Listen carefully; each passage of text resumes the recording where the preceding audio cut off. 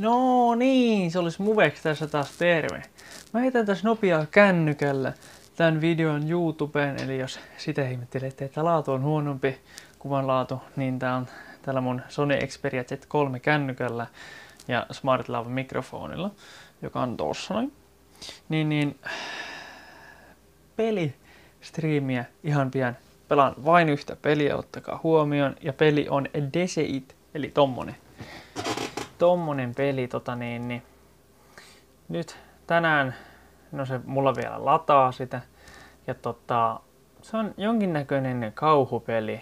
Sen kummemmin en tiedä enkä aio katsoa siitä enempää tietoa, mutta se oli jonkinnäköinen uusi kauhupeli, niin tota, otetaan semmonen testi ja tehdään siitä nyt jonkin verran striimiä, yli, yli tunnin nyt ainakin.